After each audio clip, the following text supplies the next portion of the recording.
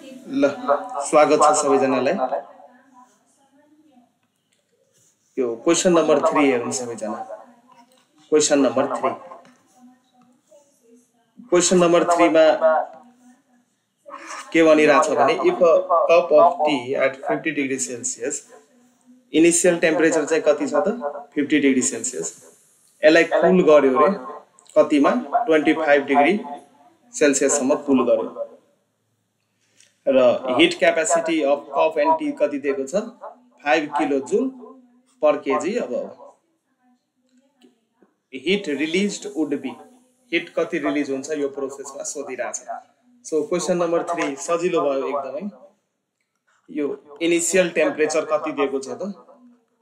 Fifty degree Celsius final temperature कति दिएको छ? ट्वेन्टी फाइभ डिग्री सेल्सियस स्क्रिनमा देखिरहेको छ होइन? सबैजना हेरिरह हो। कन्फर्म गर्नु। स्क्रिन भिजिबल छ? ल ल। अब यही क्वेसनमा यो हिट क्यापेसिटी कति दिएको छ त? Five kilo joule per kelvin दिएको छ। यति सबै डाटा हामीलाई क्वेसनमै दिएको भयो। अब हिट कति रिलिज हुन्छ निकाल भन्दैछ। सो हामीलाई थाहा छ formula Q equals to M S D T र एम र एस को ठाउँमा हामी के लेख्न सक्छौँ? सी लेख्न सक्छौँ। सी भनेको थर्मल क्यापेसिटी भयो सो यो भनेको सी इन्टु डिटी भनेको डेल्टा टी अथवा चेन्ज इन टेम्परेचर सी कति दिएको छ? Five into change in temperature कति दिएको छ? पचास माइनस पच्चिस।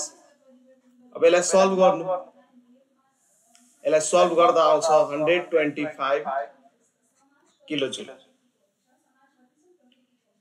यसरी आएको सबैजनाको।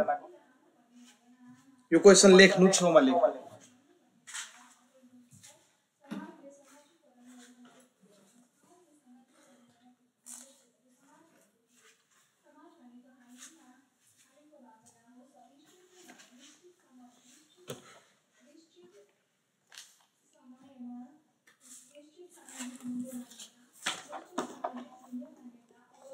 क्वेसन नम्बर फोर चाहिँ कसरी गर्यो? कसैले मलाई भन्न सक्छ?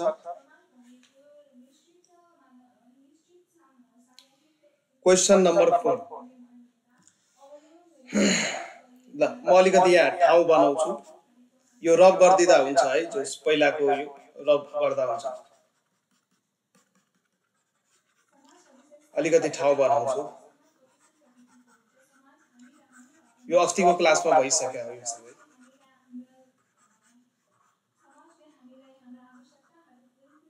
ल क्वेसन नम्बर फोर हेरौँ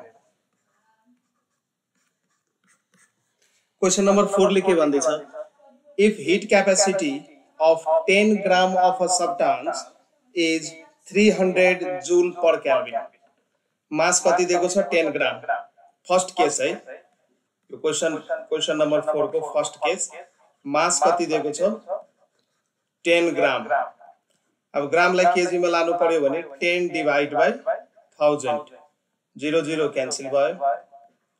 Zero point zero one kg हुने भयो। ठिक छ? र अझै क्वेसनमा के दिएको छ भने यो फर्स्ट केसमा हाम्रो हिट क्यापेसिटी दिएको छ। कति? Three hundred joule per calorie यो पहिलो केसको हिट क्यापेसिटी कति दिएको छ? सी यो हाम्रो दिएको छ three hundred joule per kelvin दिएको छ क्वेसनमा three hundred joule per kelvin अब फेरि क्वेसनले भन्यो। Heat capacity of hundred gram of same substance would be अब टेन ग्राम लिँदा हिट क्यापेसिटी थ्री हन्ड्रेड छ अरे मास यदि हन्ड्रेड ग्राम लिने हो भने हन्ड्रेड ग्राम भनेको अब केजीमा कन्भर्ट गर्नु। Hundred divide by thousand. Zero zero zero zero. Zero point one kg हुने। अब यो सेकेन्ड केस भयो। सेकेन्ड केसमा सी चाहिँ कति हो भनेर सोधिरहेछ कसरी गर्नुभयो क्वेसन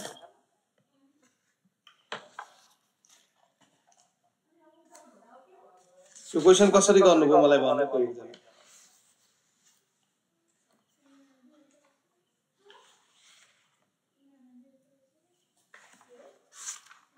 खोइ त अब हाजै छैन।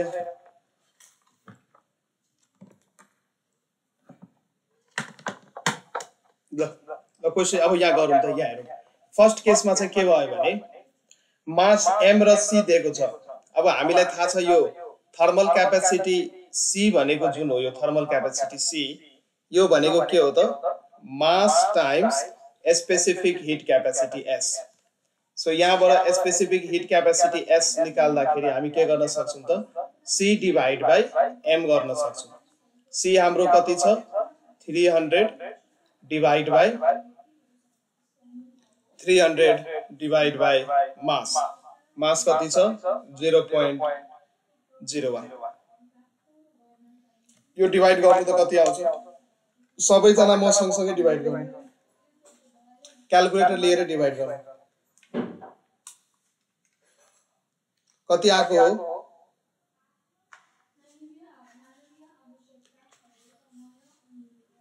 डिभाइड गर्दा कति आएको हो?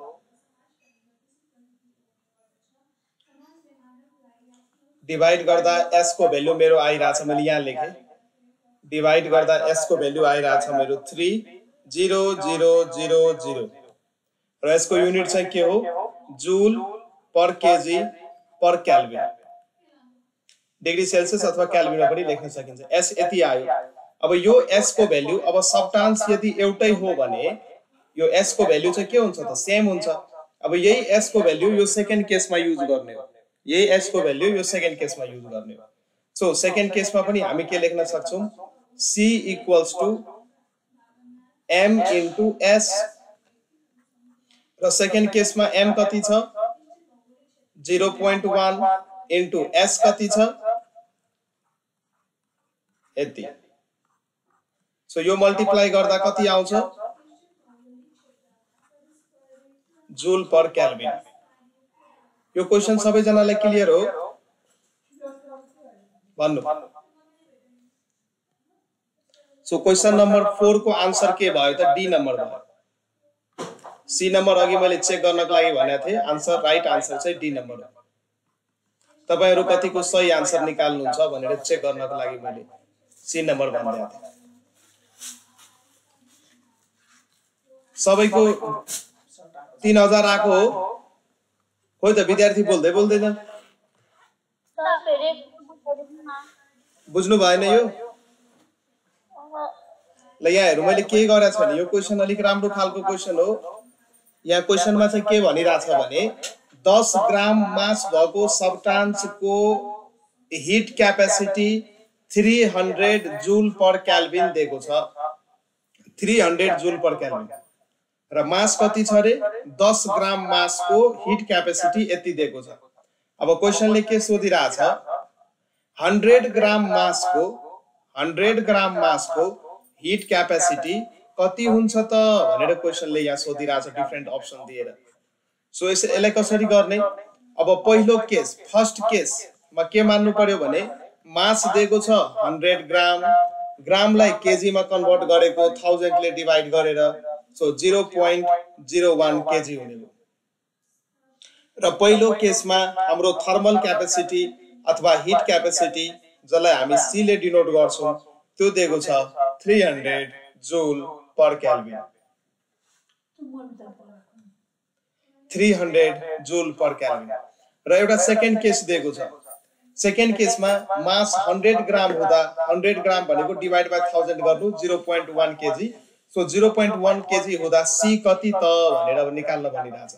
सो अस्ति एउटा फर्मुला मैले लेखाएको थिएँ थर्मल क्यापेसिटी भनेको mass into specific heat capacity यो सी भनेको थर्मल क्यापेसिटी हो। सी भनेको थर्मल क्यापेसिटी थर्मल क्यापेसिटीलाई नै हिट क्यापेसिटी भनिन्छ। योभन्दा अगाडिको क्लासमा सबै पढाइसक्या हो। थर्मल क्यापेसिटीलाई नै हिट क्यापेसिटी भनिन्छ। र एस भनेको के हो त? Specific heat capacity specific heat capacity र यसको रिलेसन के हुन्छ त? Thermal capacity equals to mass times specific heat capacity अथवा specific heat capacity equals to thermal capacity divide upon mass यो अस्ति नै गरिसक्यो सो यही फर्मुला युज गरेर मैले यहाँ एसको भ्याल्यु निकालेँ एस भनेको सी बाई एम होइन सो फर्स्ट केसमा सी दिएको छ थ्री हन्ड्रेड मास भयो zero point zero one kg यो युज गरेर मेरो एसको भ्यालु कति आयो त तिनको माथि चारवटा zero thirty thousand joule per kg joule per kg per kelvin आएको एसको भ्याल्यु अब यही एसको भ्याल्यु युज गरेर यही एसको भ्याल्यु युज गरेर सेकेन्ड केसको लागि मैले थर्मल क्यापेसिटी निकालिदिएँ सी भनेको फेरि थर्मल क्यापेसिटी सेकेन्ड केसको लागि। थर्मल क्यापेसिटी यो भनेको एम इन्टु एस सेकेन्ड केसको लागि मास दिएको छ जिरो पोइन्ट वान एस मैले अलरेडी निकालिसकेँ तिस हजार। दुइटैलाई मल्टिप्लाई गर्नु three thousand joule per kelvin three thousand joule per kelvin so यो बुझ्यो सबैजना सबैजना बुझ्यो यो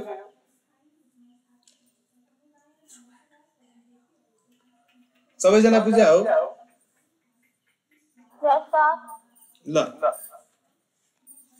अब यस्तै छ क्वेसन्सहरू होइन अब हामी यस्तै खालको क्वेसन्सहरू अरू पनि आउँछ होइन अब हामी समय चाहिँ लस नगरौँ अर्को च्याप्टरतिर हामी गइहालौँ सो अब म सेकेन्ड च्याप्टर तपाईँहरूलाई करेन्ट इलेक्ट्रिसिटी एन्ड म्याग्नेटिजमबाट स्टार्ट गरौँ भन्ने सोचिरहेको छु current electricity and magnetism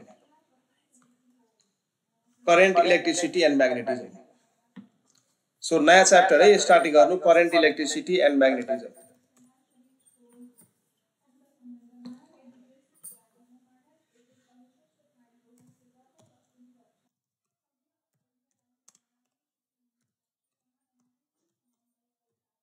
current electricity and magnetism.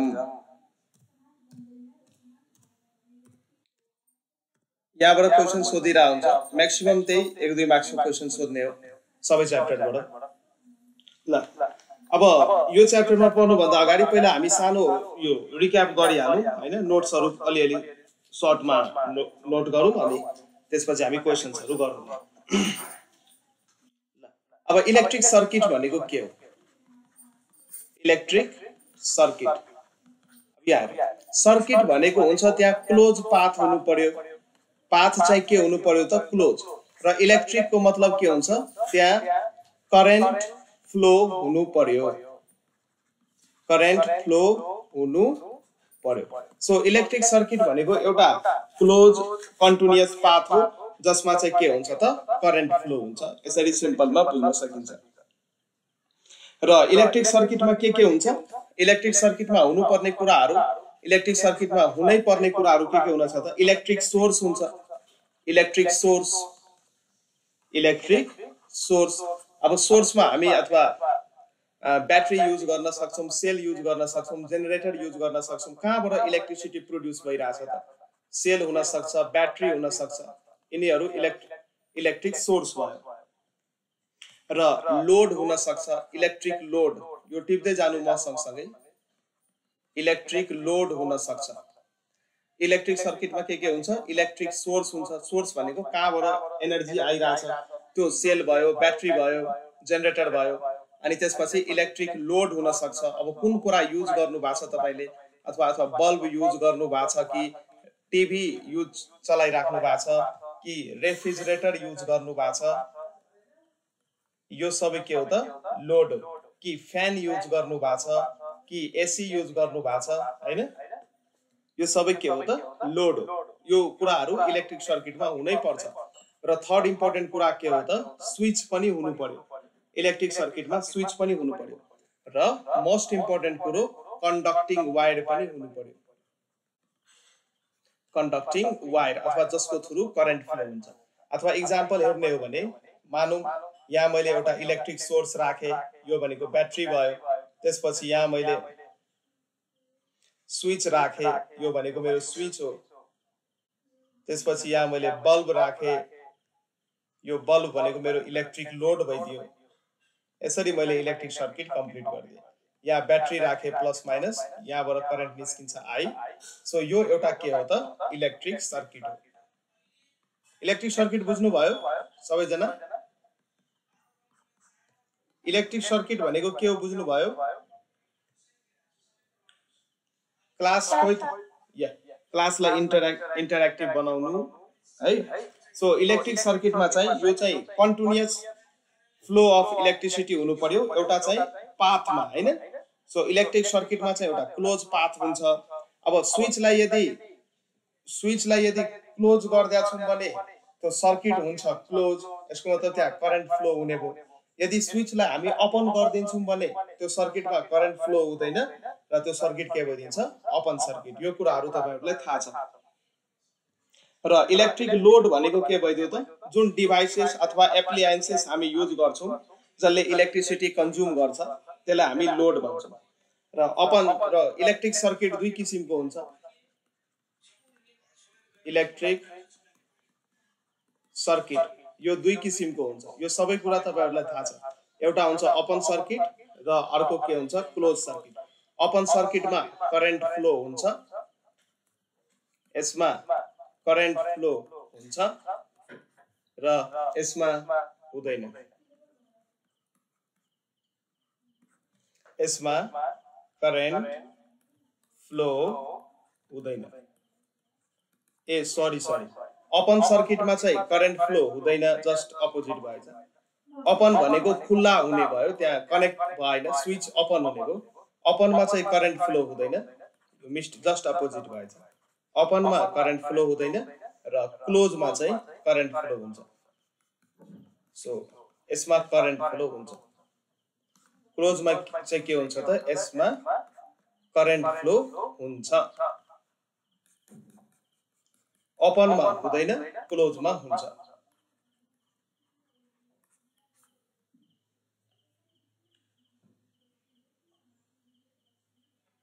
ल अब कुनै पनि इलेक्ट्रिक सर्किटमा हामी रेसिस्टर्सहरूलाई कसरी कनेक्ट गर्न सक्छौँ त?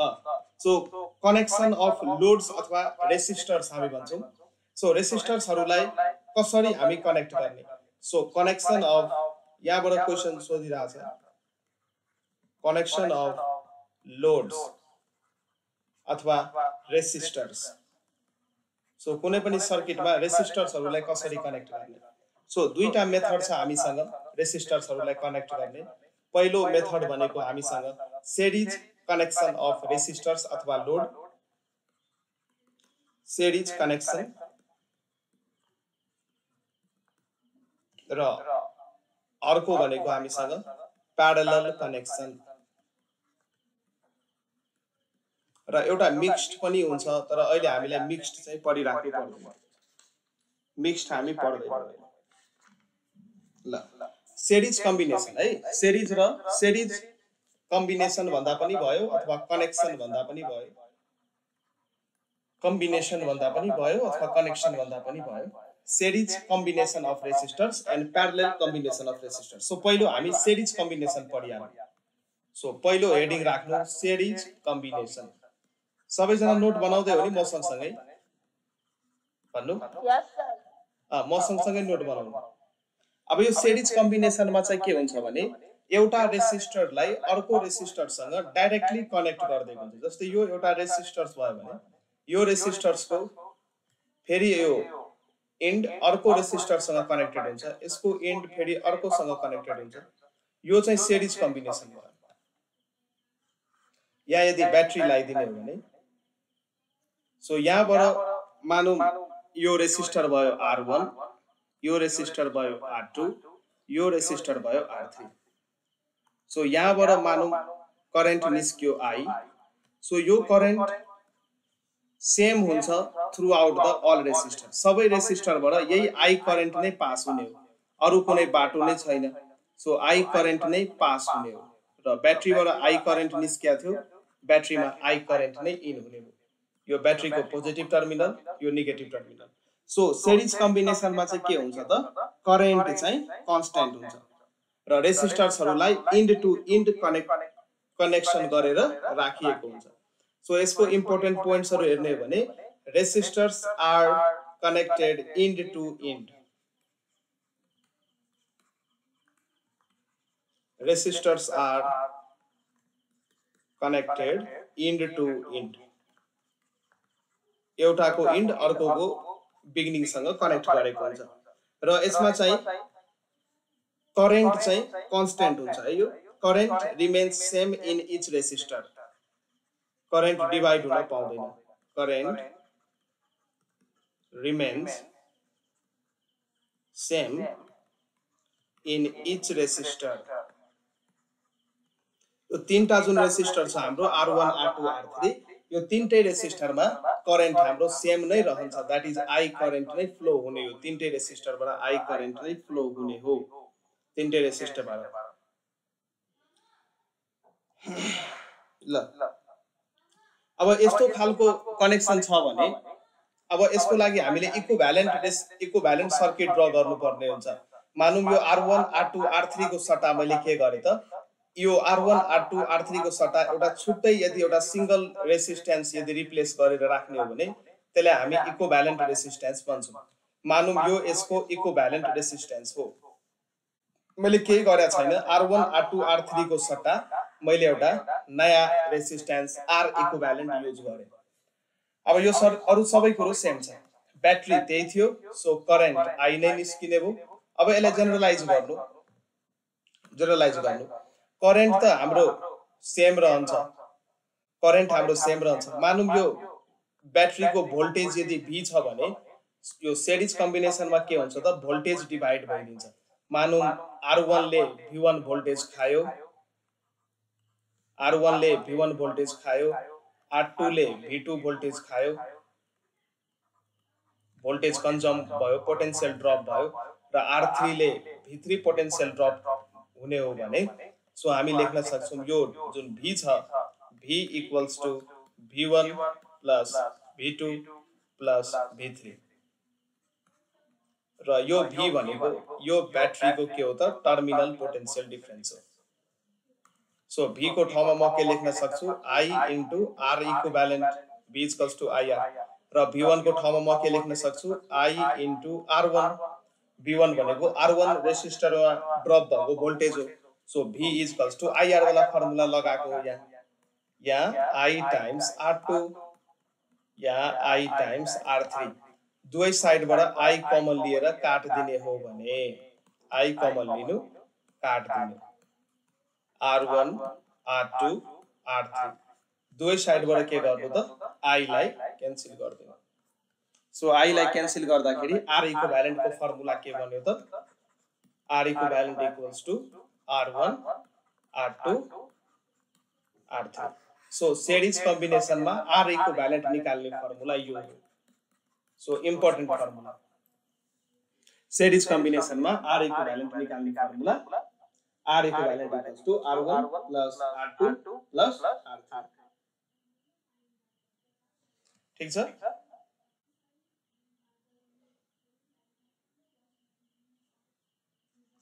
ल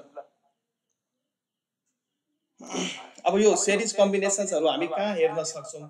अथवा यो जस्तै यो दीपावलीहरू हुन्छ होइन? अथवा त्यसमा हामी यो लाइटिङ सिस्टम्सहरू युज गर्छौँ यो सेरेमोनियल पर्पोजहरूको लागि जुन यो बल्ब्सहरू हामी झिलिमिली बल्ब्सहरू युज गर्छौँ त्यो सबै सेरिज कम्बिनेसनमा बेस्ट भएर बनाइएको हुन्छ। एउटा बल्ब बिग्रियो भने अर्को बल्ब बल्दैन किनकि सर्किट नै त्यहाँबाट के भइदियो त डिस्कनेक्ट भइदियो। यो कुराहरू बुझ्नु पर्यो। अब हामी सो यो सेरिज कम्बिनेसनमा मेन मेन कुरो चाहिँ के बुझ्नु पर्यो त सेरिज कम्बिनेसनमा भोल्टेज डिभाइड हुन्छ करेन्ट डिभाइड हुँदैन। सेरिज कम्बिनेसनको मेन पोइन्ट एक लाइनमा यदि याद गर्नु पर्यो भने हामी के भन्न सक्छौँ? सेरिज कम्बिनेसनमा भोल्टेज डिभाइड हुन्छ।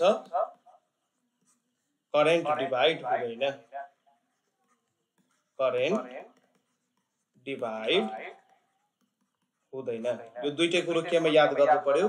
सेरिज कनेक्सन अथवा सेरिज कम्बिनेसन यो कुरो याद गर्नु पर्यो। नोट्स लेख्दै हुनुहुन्छ सबैजना? रिस्पोन्स गर्नु। ल नोट्स बनाउँदै जानु म सँगसँगै चाहिन्छ यो नोट्सहरू ल अब अर्को कम्बिनेसन लेखौँ। प्यारलेल कम्बिनेसन प्यारलेल कम्बिनेसन अब प्यारलेल कम्बिनेसनमा चाहिँ के हुन्छ भने सबै रेसिस्टर्सहरूको एउटा पोइन्ट एक ठाउँमा र अर्को पोइन्ट अर्को ठाउँमा चाहिँ के कनेक्ट गरिन्छ। जस्तै मानौँ यो दुईटा पोइन्टबाट एउटा रेसिस्टर यसरी गयो। अर्को रेसिस्टर यसरी गयो। अर्को रेसिस्टर यसरी गयो। यो तिनवटा रेसिस्टर यो दुईटा पोइन्टको एक्रसमा कनेक्ट भएर बसेको छ। यो रेसिस्टर आर वान यो रेसिस्टर आर टू यो रेसिस्टर आर थ्री र यो जुन दुईटा पोइन्ट छ यसको एक्रसमा मैले के गरेँ त ब्याट्री कनेक्ट गरिदिएँ यसको एक्रसमा मैले ब्याट्री कनेक्ट गरेँ सो यो ब्याट्रीको पोजिटिभ टर्मिनल यो नेगेटिभ टर्मिनल सो यहाँबाट करेन्ट निस्कियो आई सो यहाँ आई करेन्ट आयो। यहाँ आइसकेपछि करेन्टले तिनवटा बाटो देख्छ। सो मानौँ आर वानबाट करेन्ट गयो आई वान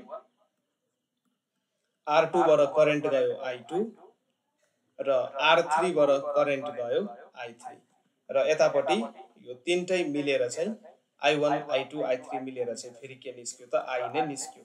यो करेन्ट आई नै डिभाइड भएको छ। So I equals to I one plus I two plus I three अब यसलाई हामी भन्छौँ प्यारल कम्बिनेसन प्यारल कम्बिनेसनमा चाहिँ के हुन्छ त? यो तिनटै रेसिस्टरको यहाँ हेर्न सक्छौँ हामी। यो तिनटै resistor R one R two R थ्रीको एउटा पोइन्ट चाहिँ। मानौँ यो पोइन्ट नम्बर वान हो यो। मानौँ यो पोइन्ट नम्बर वान हो र यो पोइन्ट नम्बर टू हो। तिनटै रेसिस्टरको एउटा पोइन्ट चाहिँ पोइन्ट नम्बर वानमा कनेक्ट गरिएको छ र तिनटै रेसिस्टरको अर्को इन्ड चाहिँ पोइन्ट नम्बर टूमा कनेक्ट गरेको छ। यसलाई चाहिँ हामी प्यारल कम्बिनेसन अफ रेसिस्टर्स भन्छौँ। र यहाँ हामी हेर्न सक्छौँ। अब यो R one R two R three जुन प्यारली कनेक्ट गरेर राखिएको छ यसको सट्टा यदि इको भ्यालेन्ट कुनै रेसिस्टेन्स राख्ने हो भने त्यो कसरी हामी निकाल्ने हो? जस्तो मानौँ यो R one R two R थ्रीको सट्टा मैले एउटा इको भ्यालेन्ट राखेँ। अघि जस्तै डायग्राम गर्नु हो।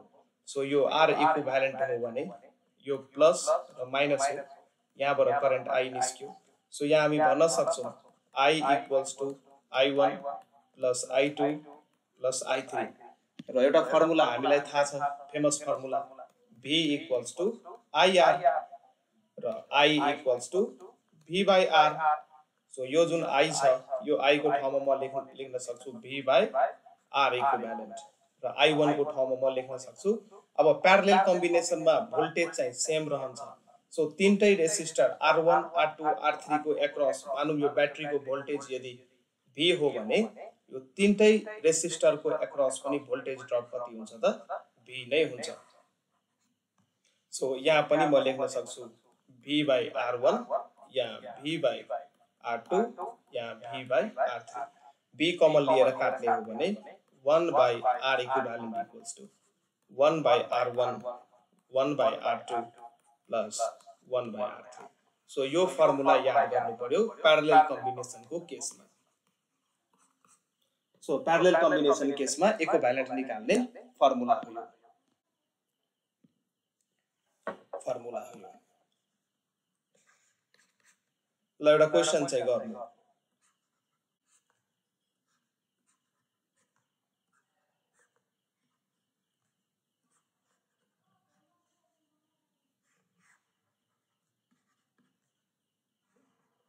क्वेसन भिजिबल छ स्क्रिनमा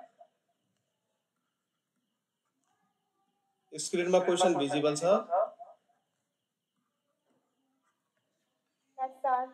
ल यो क्वेसन सल्भ गर्नु।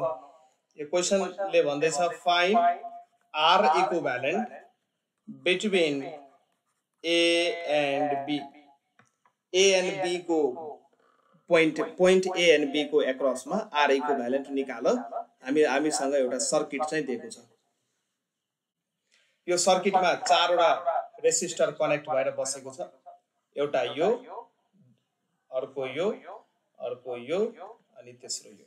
सबैको टु अहम टु अहम टु अहम रेसिस्टेन्स दिएको छ। चारवटा रेसिस्टर कनेक्ट छ। आर इको भ्यालेन्ट निकाल भनेर क्वेसनले सोध्यो। निकाल्नु त।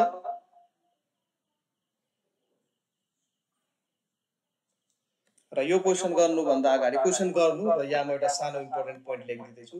सो प्यारलेल कम्बिनेसनमा याद गर्नुपर्ने पोइन्ट चाहिँ के? सेरिजमा भोल्टेज डिभाइड हुन्थ्यो करेन्ट डिभाइड हुँदैन थियो। तर प्यारलेलमा प्यारलेलमा भोल्टेज डिभाइड हुँदैन।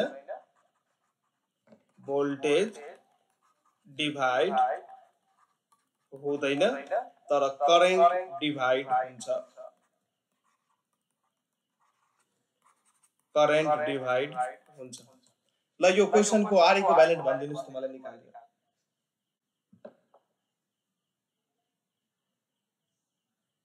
क्वेसन सार्नु र आरएको भ्यालेन्ट भन्नु कति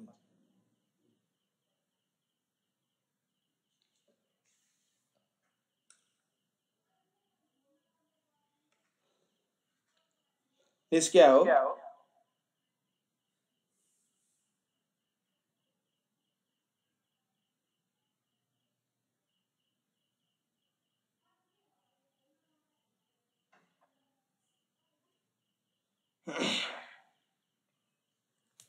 ल हेर्नु यो कसरी गर्ने हो? यो जुन दुईटा हामीलाई दिएको छ यो पक्कै प्यारलेलमा दिएको छ। कसरी चिन्ने सेरिजमा छ कि प्यारलेलमा अब ए र बीको एक्रसमा आरईको भ्यालेन्ट निकाल्न भन्दैछ भने ए र बीको बिचमा के गर्ने त? एउटा ब्याट्री लगाइदिने र यहाँबाट करेन्ट निकालिदिने। सो करेन्ट निस्क्यो। यो करेन्ट यहाँ टु ओहममा आइ नै जाने भयो। यहाँ आएर करेन्टले दुईटा बाटो हेर्छ मानौ माथि आई वान गयो तल आई टू गयो। फेरि यो आई वान र आई टू मिलेर यता आई नै बनाउँछ यसको मतलब आई वान र आई टू करेन्ट जुन जुन ब्रान्चमा डिभाइड भएको छ करेन्ट डिभाइड हुन बित्तिकै त्यो प्यारलेलमा हुने भयो। यसको मतलब यो टु र टु यो जुन टु र टु छ यो यो दुइटै केमा छ त प्यारलेलमा छ। यो प्यारलेल कम्बिनेसनमा दिएको छ। र यो टु चाहिँ केमा छ त सेरिजमा छ। यो टु पनि केमा छ त? सेरिजमा छ। अब प्यारलेलमा छ भने कसरी निकाल्ने? अब जस्तै यो टु र टूको निकाल्नु त? जस्तो मानौँ यो यस्तो खालको यदि दिया छ भने माथि पनि टु छ तल पनि टु छ। अब यसको निकाल्नु पर्यो। सो माथि पनि टु ओहम तल पनि टु ओहम। सो यो प्यारलेलमा भइसकेपछि यसको इको भ्यालेन्ट कसरी निकाल्ने? So one by R equivalent equals to one by R one plus one by R two one by R one भनेको one by two one by two so LCM two हुने भयो So your 1 plus 1 that is 2 by 2 equals to 1. So 1 by r equivalent कति आयो त? 1 आयो। Therefore r equivalent कति आयो त? 1 आयो। सो 1 by 1 भनेको 1 नै हुन्छ। सो यो 2 र 2 को सट्टा म के लेख्न सक्छु त? 1 लेख्न सक्छु। सो यो डायग्रामलाई यदि मिलाएर बनाउने हो भने यसलाई यसरी पनि बनाउन सकिन्छ। यहाँ चाहिँ 2 ओहम राख्नु र यो टु र टूको सट्टा फेरि के लेख्न सकिन्छ? यहाँ अब वान ओहम लेख्न सकिन्छ। यो आरईको भ्यालेन्ट हो। फेरि यहाँ टु ओहम छ र यो पोइन्ट भनेको ए र यो पोइन्ट भनेको बी। अब करेन्ट यदि पठाउने हो भने करेन्ट डिभाइड हुँदैन। यसको मतलब R one R two R three तिनटै केमा भयो त? सेरिजमा भयो। अब यो केसमा आर इक्व भ्यालेन्ट निकाल्ने हो भने तिनटैलाई जोड दिनु R one R two R three R one two R two भनेको वान फेरि आर थ्री भनेको टू यो भनेको कति आयो त? फाइभ आयो। सो यो जुन क्वेसन हामीलाई दिएको थियो यो क्वेसनको equivalent resistance between point A and B कति रहेको छ त? फाइभ ओम रहेको छ। यो क्वेसन बुझ्या हो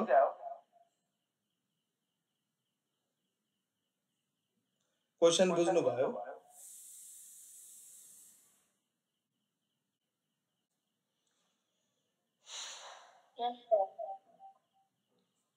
ल यस्तो खालको क्वेसन्सहरू सोधिन सक्छ गर्न आउनु पर्यो र डिटेलमा पछि इलेभेन अथवा फर्स्ट इयरमा पढ्नुहुन्छ त्यति डिटेलमा तपाईँहरूले पढ्नु पर्दैन तर त्यही पनि।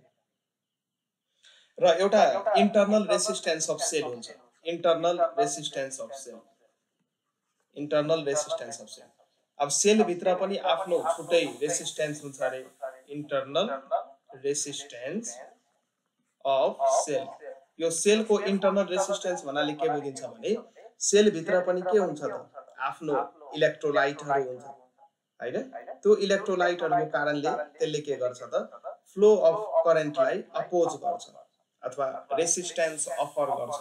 फ्लो अफ करेन्टलाई त्यो resistance afforded by the cell when electric current flows through it is called internal resistance due to which its PD is smaller than EMF. कुनै पनि ब्याट्रीको पिडी जुन छ पोटेन्सियल डिफरेन्स अथवा तपाईँले एउटा ब्याट्री किनेर ल्याउनु भयो अरे मार्केटमा एउटा ब्याट्री किनेर ल्याउनु भयो र यो ब्याट्रीको कभरमा पछाडि लेखाएको थियो two point five volt so यो टु पोइन्ट फाइभ भोल्ट भनेको के हो त? यो ब्याट्रीको इएमएफ हो। तर यो ब्याट्रीलाई इलेक्ट्रिक सर्किटमा युज गरिसकेपछि बल त्यसपछि यसको यो दुइटै पोटेन्सियल प्लस र माइनसको बिचमा यदि मानौँ यो प्लस हो यो माइनस हो भने प्लस र माइनसको बिचमा पोटेन्सियल डिफरेन्स दुई सय टू अथवा टू पोइन्ट फाइभ भोल्ट रहँदैन। जब यसलाई इलेक्ट्रिक सर्किटमा कनेक्ट गरिदिने हो भने जुन किन्ने बेला जुन टू पोइन्ट फाइभ भोल्ट लेखाएको थियो सेल सेलको कभरमा अथवा ब्याट्रीमा सर्किटमा युज गरिदिइसकेपछि त्यसको दुइटै टर्मिनलमा टू पोइन्ट फाइभ भोल्ट रहँदैन। केही न केही त्यहाँ भोल्टेज ड्रप हुन्छ। त्यो भोल्टेज ड्रप के को कारणले हुने हो त? इन्टरनल रेसिस्टेन्स अफ सेलको कारणले हुने हो। यही कारणले गर्दा हामी के भन्न सक्छौँ? Terminal terminal potential difference terminal potential difference is less than EMF of cell terminal potential difference यसलाई टिपिडी भन्छौँ. अब टिपिडी कुन बेला आउँछ त? यो जब सेललाई हामी सर्किटमा लगाइदिन्छौँ अथवा जब सर्किट हुन्छ क्लोज सो क्लोज सर्किटको केसमा हुन्छ यो सिकेटी भनेको सर्किट सर्ट फर्ममा क्लोज क्लोज सर्किटको केसमा यो ब्याट्रीको जुन दुईवटा टर्मिनल हुन्छ प्लस र माइनस त्यसको बिचमा जुन पोटेन्सियल डिफरेन्स हुन्छ त्यसलाई हामी टर्मिनल पोटेन्सियल डिफरेन्स भन्छौँ। टर्मिनल पोटेन्सियल डिफरेन्स ब्याट्रीको इएमएफ भन्दा कम हुन्छ किनभने इन्टरनल रेसिस्टेन्स अफ सेलको कारणले गर्दा त्यहाँ भोल्टेज ड्रप हुन्छ। सो यो कुराहरू तपाईँहरूले थाहा पाउनु पर्यो। र करेन्ट्सको टाइप पनि हुन्छ। अब दुई किसिमको करेन्ट हामी हेर्छौँ। एउटा अल्टरनेटिङ करेन्ट र अर्को भनेको direct current types of current types of current so एउटा हुन्छ alternating current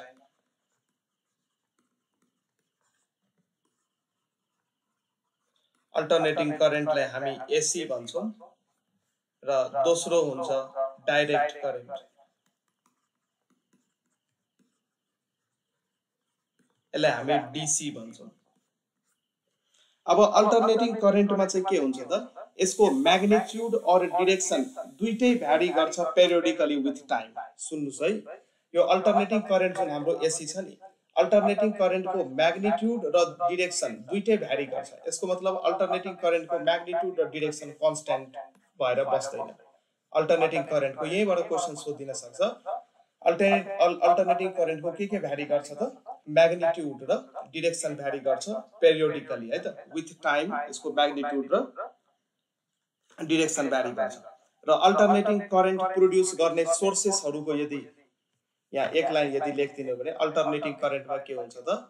Magnitude magnitude and direction direction vary. Periodically with time vary periodically with time टाइमसँग vary गर्छ पेरियोडिकली अब यसको एसी प्रड्युस गर्ने यदि सोर्सेसहरूको इक्जाम्पल हेर्ने हो सोर्सेस फर इक्जाम्पल सोर्सेसको इक्जाम्पल हेर्ने हो भने, कसले करेन्ट प्रड्युस गर्छ सो जेनेरेटर र डाइनेमोले चाहिँ करेन्ट प्रड्युस गर्छ। जेनेरेटर्स र डाइनेमोज जेनेरेटर्स र डाइनेमोजले अल्टरनेटिङ करेन्ट प्रड्युस गर्छ।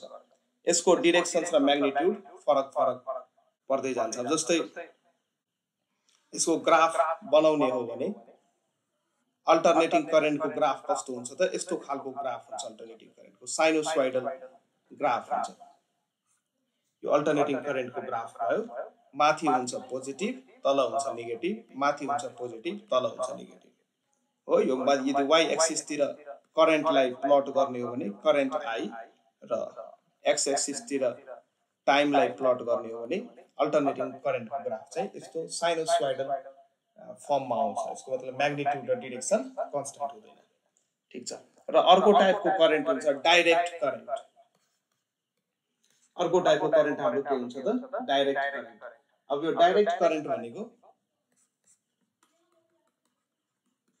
डाइरेक्ट करेन्ट डिसी भनेको डाइरेक्ट करेन्ट अब यो डाइरेक्ट करेन्टमा यसको म्याग्निट्युड र डिरेक्सन चेन्ज हुँदैन विथ टाइम यसमा लेख्न सक्छौँ magnitude and direction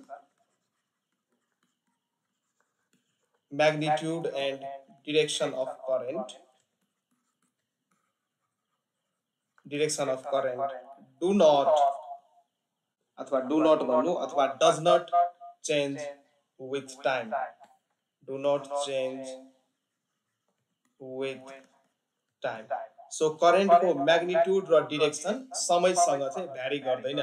यसको ग्राफ यदि बनाउने हो भने समयको साथ करेन्टको ग्राफ के हुन्छ त कन्सटेन्ट यदि यो करेन्टको ग्राफ हो भने करेन्ट हुन्छ कन्सटेन्ट वाइ एक्सिसतिर करेन्ट प्लट गर। र टाइम एक्स यो एक्स एक्सिसतिर टाइम यदि प्लट गर्ने हो भने करेन्टको ग्राफ के आउँछ त? एउटा कन्सटेन्ट आउँछ। यसको मतलब टाइम बढ्दै जाँदा पनि अब जतिसुकै टाइम बढोस् डिस्टेन्स यो करेन्ट के छ त? कन्सटेन्ट छ। टाइम बढ्दै जाँदा पनि करेन्ट के छ त? कन्सटेन्ट छ। सो यो चाहिँ डाइरेक्ट करेन्टको इक्जाम्पल भयो। यो डिसीको इक्जाम्पल भयो। फिगर डिसीको सो यो डिसी प्रड्युस गर्ने सोर्सेसहरू कहिले काहीँ सोधिन सक्छ? कुन कुन सोर्सेसले डाइरेक्ट करेन्ट प्रड्युस गर्छ? सो डाइरेक्ट करेन्ट प्रड्युस गर्नको लागि हाम्रो त्यो सिम्पल सेलहरू ड्राई सेलहरू जुन हुन्छ नि ड्राई सेल सानो सानो ब्याट्रीहरू सिम्पल सेलहरू ड्राई सेल ब्याट्रीहरू अथवा ब्याट्री पनि लेख्न सक्नुहुन्छ। ब्याट्री अथवा फोटो सेलहरू फोटो सेल्सहरू ब्याट्रीहरू अथवा यो जेनेरेटर पनि एसी र डिसी भन्ने हुन्छ। सो डिसी जेनेरेटरले पनि डिसी करेन्ट प्रड्युस गर्छ।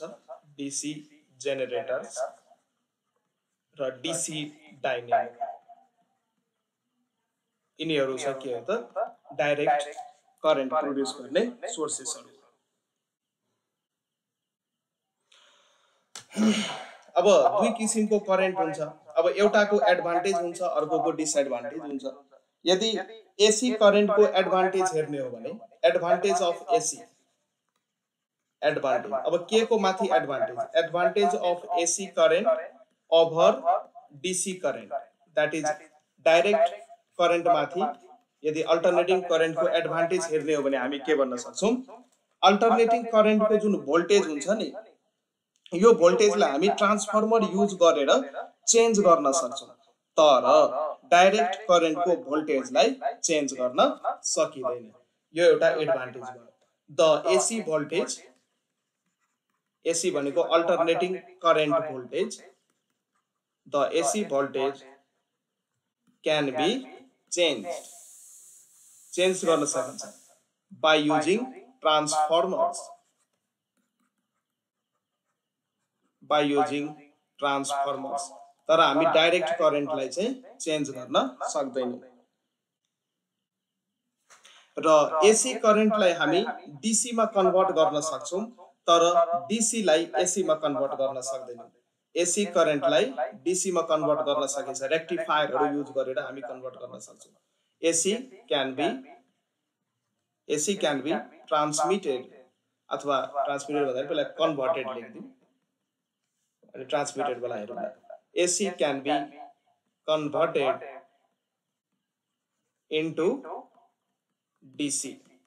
के युज गरेर डिसीमा कन्भर्ट गर्न सकिन्छ? सो रेक्टिफायर भनेर याद गर्नु। रेक्टिफायर्स सो रेक्टिफायर्स युज गरेर हामी कन्भर्ट गर्न सक्छौँ। एसीलाई डिसीमा। र एसी करेन्टलाई चाहिँ हामी लङ डिस्टेन्ससम्म चाहिँ ट्रान्समिट गर्न सक्छौँ। Without much loss of energy अब एसी करेन्टलाई यदि लङ डिस्टेन्स अब थाउजन्ड्स अफ किलोमिटर्समा पनि हामी ट्राभल गर्न सकिन्छ जसमा चाहिँ एनर्जीको लस एकदमै कम हुन्छ। तर यदि डिसी करेन्टलाई ट्रान्सफर अथवा ट्रान्समिट गर्न खोज्ने हो भने त्यहाँ एनर्जीको लस धेरै भइदिन्छ। सो यो कुरा पनि एउटा एडभान्टेजको रूपमा याद गर्नु। AC can be transmitted to long distance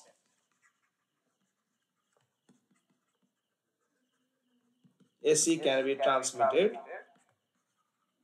to long distance long डिस्टेन्समा हामी यसलाई ट्रान्समिट गर्न सकिन्छ without much loss of energy without much loss of energy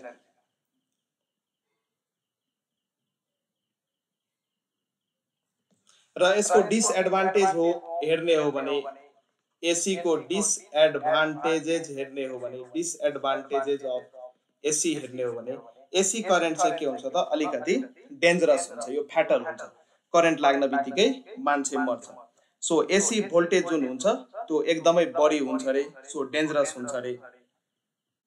र एसी करेन्टलाई हामी इलेक्ट्रोलाइसिस इलेक्ट्रोप्लेटिङ अथवा आयोनाइजेसन जस्तो प्रोसेसमा हामी युज गर्न सक्दैनौँ।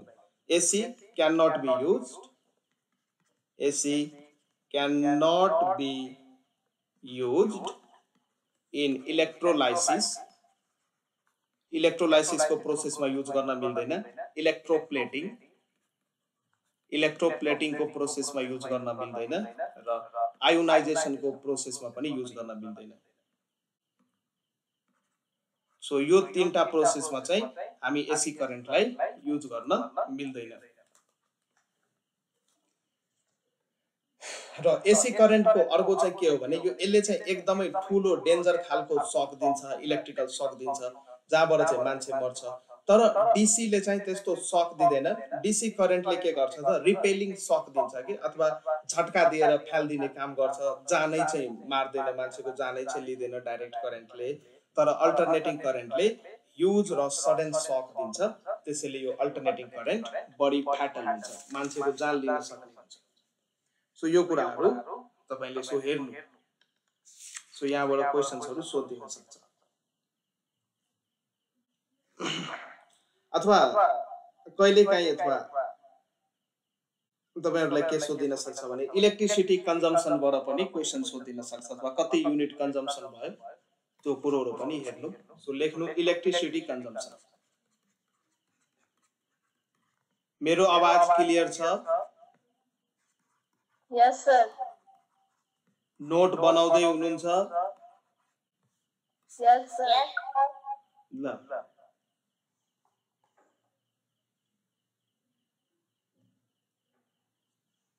ल। अब इलेक्ट्रिसिटी कन्जम्सन अब इलेक्ट्रिसिटी जुन हामी आफ्नो घरमा कन्ज्युम गर्छौँ होइन अथवा बत्तीहरू बाल्छौँ टिभीहरू चलाउँछौँ मोबाइल चार्ज गर्छौँ अथवा अरू कुनै electrical एप्लायन्सेसहरू geyser refrigerator fridge washing machine यो एप्लायन्सेसहरू जुन हामी घरमा युज गर्छौँ यसले चाहिँ के गर्छ त? इलेक्ट्रिकल एनर्जी कन्ज्युम गर्छ। र इलेक्ट्रिकल एनर्जी कन्ज्युम भइसकेपछि हामीले सर्टेन पैसा अथवा मनी चाहिँ गभर्मेन्टलाई तिर्नुपर्ने हुन्छ अथवा बिजुलीको बिल हामी भन्छौँ नि।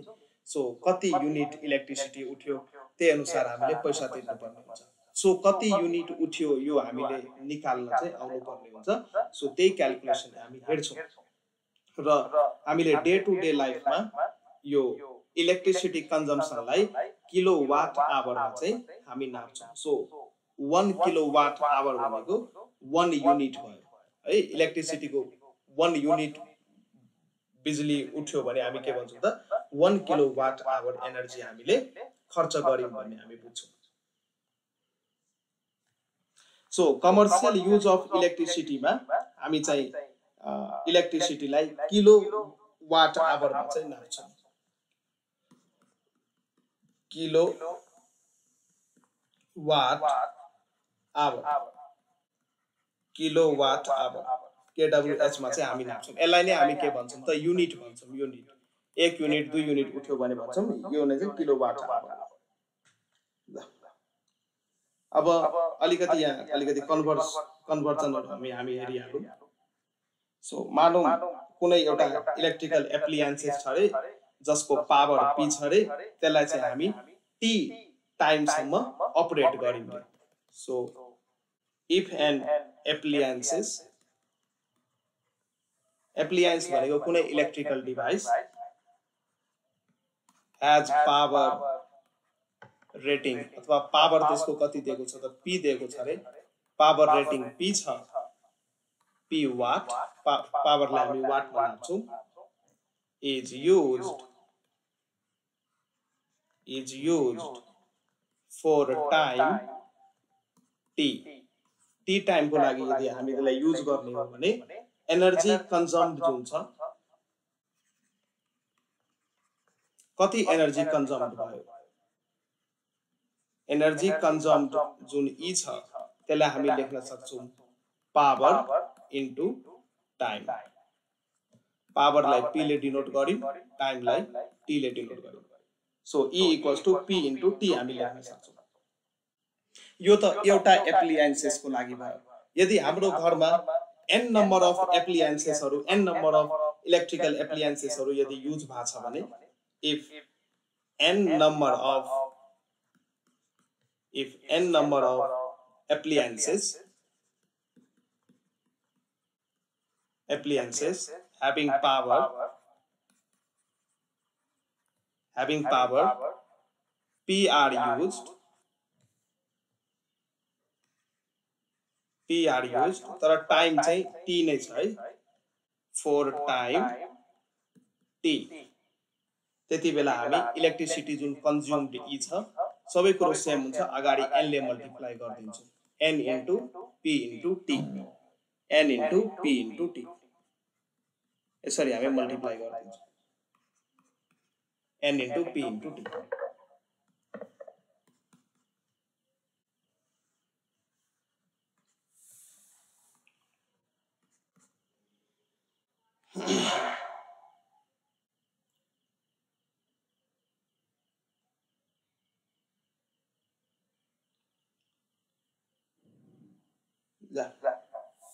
अब टोटल कस्ट यदि निकाल्नु पर्यो भने टोटल टोटल कति कस्ट उठ्छ यदि निकाल्नु पर्यो भने पर युनिटको कस्ट हामीलाई दिएको हुन्छ र हामीले कति युनिट इलेक्ट्रिसिटी उठ्यो त्यो निकाल निकाल्नु सफल भयो भने हामी टोटल कस्ट निकाल्न सक्छौँ। सो टोटल कस्ट निकाल्नको लागि टोटल कस्ट निकाल्नको लागि हामीलाई के चाहियो? कति युनिट्स अफ इलेक्ट्रिसिटी उठ्यो? That is total units of electricity total units of electricity into एक युनिटको रेट कति त रेट पर युनिट अथवा एक युनिटको कति पैसा भन्नु सो यसरी हामी निकाल्न सक्छौँ। So commercial unit of electricity के भयो त? किलो वाट आवर भयो। सो किलो वाट आवरमा चाहिँ हामी इलेक्ट्रिसिटीलाई कमर्सियली हामी युनिटमा नाप्छौँ कमर्सियली अथवा कमर्सियल पर्पोजमा इलेक्ट्रिसिटीलाई हामी किलो वाट आवर युनिटमा नाप्छौँ र कहिलेकाहीँ वान किलो वाट आवर भनेको कति जुल हो भनेर नि सोधिन सक्छ। So one kilo watt hour भनेको three point six into ten to the power six joule हुन्छ। Three point six into ten to the power six joule हुन्छ। अथवा कसरी कन्भर्ट गर्न सकिन्छ? या हेर्नु। या one kilo watt hour so यसलाई म के लेख्न सक्छु त? वान किलो वाटलाई भयो वान किलो वाटलाई म वान इन्टु टेनको पावर थ्री वाट लेख्न सक्छु। र आवर भनेको वान आवर हो। वान आवरलाई सेकेन्डमा कन्भर्ट गर्न सकिन्छ। So sixteen into sixty second गर्न सक्छौँ। सो यसलाई जब तपाईँ मल्टिप्लाई अथवा सल्भ गर्नुहुन्छ टेनको power three into sixty into sixty यो नै भइदिन्छ। Three point six into ten to the power six watt second र वाट सेकेन्ड भनेकै के हो त? जुल हो। वाट सेकेन्ड भनेकै के हो त जुल हो अब यो कहाँबाट आयो? हामीसँग यो पावर जो हुन्छ पावर। पावरको फर्मुला के हुन्छ? वर्क डन अपन टाइम हुन्छ।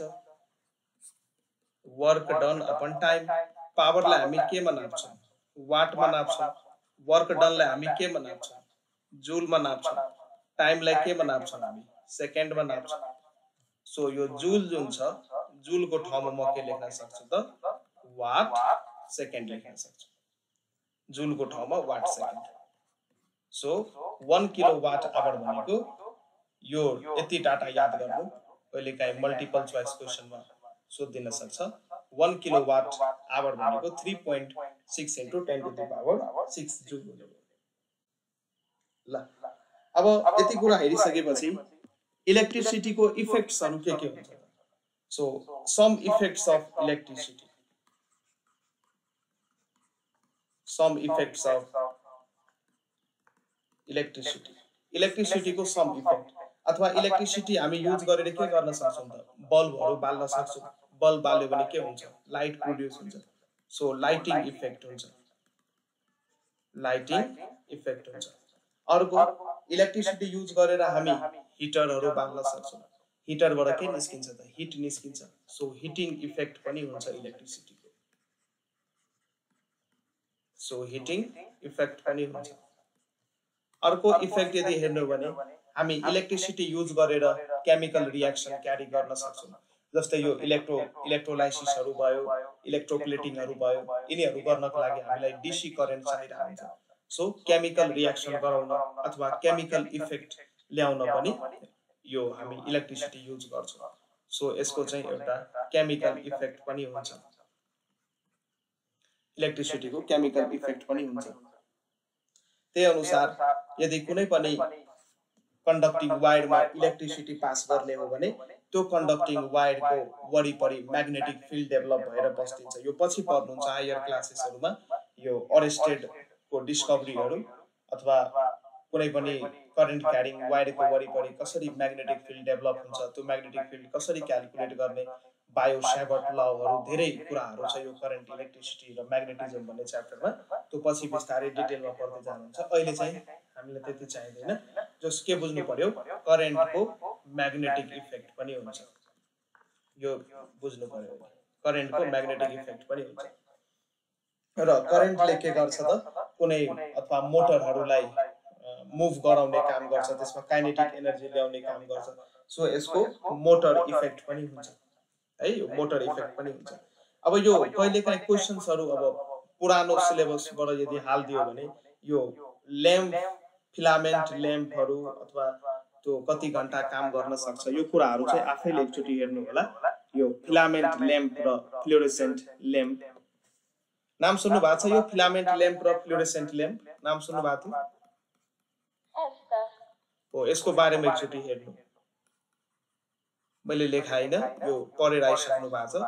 हेर्नु एकचोटि। फिलामेन्ट ल्याम्प अथवा यो एउटा डिभाइस हो जसले चाहिँ इलेक्ट्रिक एनर्जीलाई लाइट एनर्जीमा कन्भर्ट गर्छ र यसमा एकदमै बढी एमाउन्टमा हिट चाहिँ रिलिज हुन्छ। र हिट पनि रिलिज हुन्छ र यो कसरी यो लाइटमा कसरी यो फिलामेन्ट ल्याम्पले लाइट प्रड्युस गर्छ त? यो फिलामेन्ट ल्याम्पमा चाहिँ के हुन्छ त? टङ्स्टन फिलामेन्ट हुन्छ। टङ्स्टन फिलामेन्ट तातिएपछि त्यो बल्न थाल्छ कि लाइट निस्किन्छ।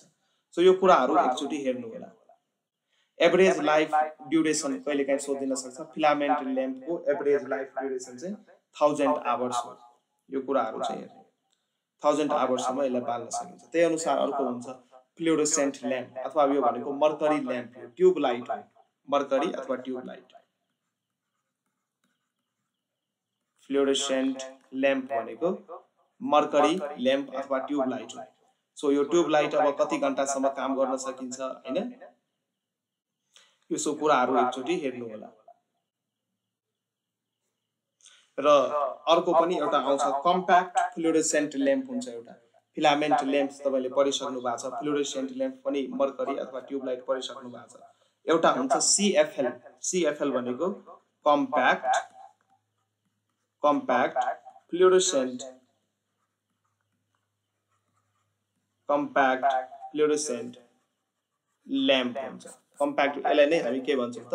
सिएफएल भन्छौँ. सो यसले पनि चाहिँ के गर्छ त? लाइट प्रड्युस गर्ने काम गर्छ। र हिटिङ इफेक्टको लागि हामी के के युज गर्छौँ त? इलेक्ट्रिक आइरनहरू होइन? इलेक्ट्रिक हिटरहरू गिजरहरू इलेक्ट्रिक केटलहरू यिनीहरू युज गरेर हामी के गर्छौँ त? हिट होइन सरी यो करेन्ट इलेक्ट्रिसिटीलाई हामी केमा कन्भर्ट गरिरहेको हुन्छ? हिटमा कन्भर्ट गरिरहेको हुन्छ। सो यो हिटिङ एलिमेन्टको रूपमा हामी नाइक्रोम वायरहरूलाई युज गरिरहेको यो नाइक्रोम चाहिँ alloy of nickel and chromium हो जुन चाहिँ वाइडली हिटिङ एलिमेन्टको रूपमा युज हुन्छ। यो नाइक्रोम भन्ने जुन छ यो नाइक्रोम यो के को एलवाई हो त? Alloy of nickel and chromium alloy of nickel and chromium so nichrome wire चाहिँ निकेल र क्रोमियमको एलवाई हो जसलाई चाहिँ हामी हिटिङ एलिमेन्टको रूपमा युज गर्छौँ इन हिटिङ रड अब यसलाई किन हामी हिटिङ एलिमेन्टको रूपमा युज गर्छौँ त नाइक्रोमलाई नै किन हामी why nichrome is use as a heating element यदि कसैले सोध्यो भने हामी के भन्छौँ यसको हाई रेसिस्टेन्स हुन्छ। नाइक्रोम वायरको रेसिस्टेन्स के हुन्छ त हाई हुन्छ। इट हेज हाई रेसिस्टेन्स र यसको मेल्टिङ पोइन्ट पनि हाई हुन्छ। त्यसैले यो चाँडै चाहिँ मेल्ट हुँदैन। जतिसुकै यो रेड हट हुँदा पनि अथवा जति ताते पनि यो चाँडै चाहिँ मेल्ट हुँदैन। मेल्टिङ पोइन्ट हाई हुन्छ। होइन? अब यो बल्दाखेरि यो बर्न हुँदैन। यसको मतलब अक्सिजनसँग यो रियाक्सन गरेर अक्सिडाइज हुँदैन। नाइक्रोम वायर बल्दाखेरि यो एटमोस्फेरिक अक्सिजनसँग रियाक्सन गरेर यो के हुँदैन त? अक्सिडाइज हुँदैन यसको मतलब बर्न हुँदैन। र ड्युरेबल पनि हुन्छ इफेक्टिभ पनि हुन्छ र यसको कोरोसिभ इफेक्ट पनि हुँदैन यसमा खिया पनि लाग्दैन। सो नाइक्रोम वायर नै किन युज गरिन्छ त हिटिङ एलिमेन्टको रूपमा? यसको हाई रेसिस्टेन्स हुन्छ यसमा खिया पनि लाग्दैन यसको मेल्टिङ पोइन्ट पनि बढी हुन्छ high resistance high melting point high resistance high melting point र अर्को चाहिँ के त? Does not so corrosive effect does not so corrosive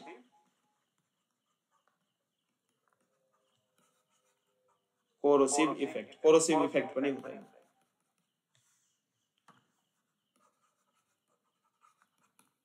ल अब यो सबै हाम्रो हिटिङ इफेक्ट थियो। अब त्यही अनुसार हाम्रो यो chemical effect of current electricity हुनसक्छ। केमिकल इफेक्टमा हामी पढ्छौँ इलेक्ट्रोलाइसिसहरू होइन? अब इलेक्ट्रोलाइसिस कसरी हुन्छ? त्यो कुराहरू। केमिकल इफेक्ट अफ करेन्ट इलेक्ट्रिसिटीमा हामी इलेक्ट्रोलाइसिस इलेक्ट्रोप्लेटिङ होइन? यो किन गरिन्छ? युजेस अफ इलेक्ट्रोप्लेटिङ यो कुराहरू एकचोटि हेर्नु है। यो केमिकल इफेक्ट अफ करेन्टमा केमिकल इफेक्ट अफ करेन्टमा तपाईँहरूले हेर्नुपर्ने कुराहरू चाहिँ के? यदि यो पार्टबाट क्वेसन सोध्यो भने मिस्टेक चाहिँ नहोस् भन्न खोजे हो। इलेक्ट्रोलाइसिस भनेको के हो? सानो क्लासमा पढेर आइसक्नु भएको छ। हेर्नु यदि बुझ्नु भएन भने म भोलिको क्लासमा रिभाइज गर्छु। इलेक्ट्रोलाइसिस भनेको के हो? एकचोटि पढेर आउनु। इलेक्ट्रोप्लेटिङ। इलेक्ट्रोप्लेटिङ भनेको पनि के हो? यो पनि पढ्नु। इलेक्ट्रोलाइसिस इलेक्ट्रोप्लेटिङ यो दुईटा के हो? त्यो पढ्नु। र यसको युजेसहरू चाहिँ के हो यसो पनि हेर्नु यो इलेक्ट्रोलाइसिस कहाँ युज गरिन्छ इलेक्ट्रोप्लेटिङ कहाँ युज गरिन्छ। आयोनाइजेसन भनेको के हो? यो कुराहरू एकचोटि हेर्नु। यो तपाईँहरूमाथि म छोड्दैछु यदि केही कन्फ्युजन भयो भने अर्को क्लासमा अलिअलि भन्छु यो कुराहरू। यो हेर्नु एकचोटि आफै दुईवटा कुराहरू। तपाईँहरूको म्याथ क्लास कति बजे हो?